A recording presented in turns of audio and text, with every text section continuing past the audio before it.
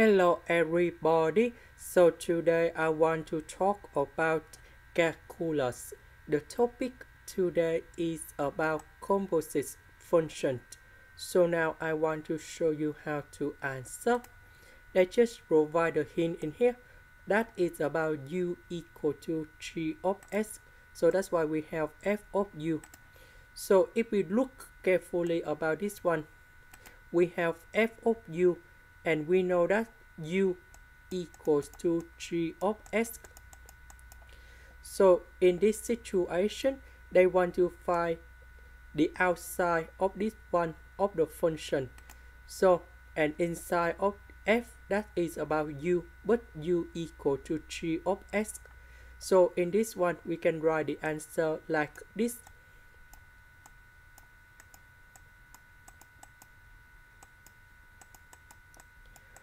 So why do we have this one?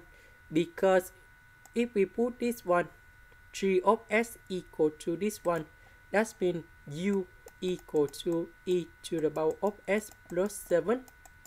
And later that this one, we will put gone here. And we got about this function like this. And that is the answer for question number one.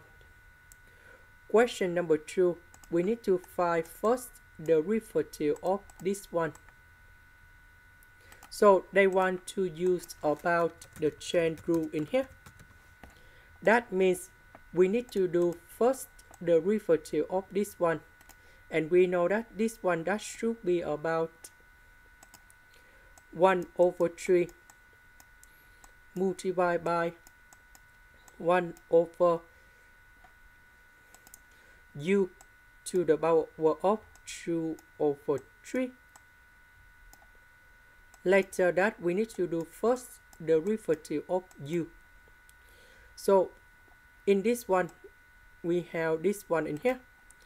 First derivative of e to the power of x, we have e to the power of x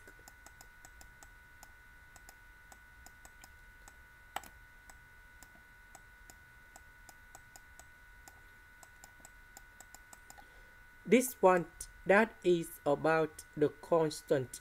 So you got zero in here. And now about u that is about this one. So we write this one cone here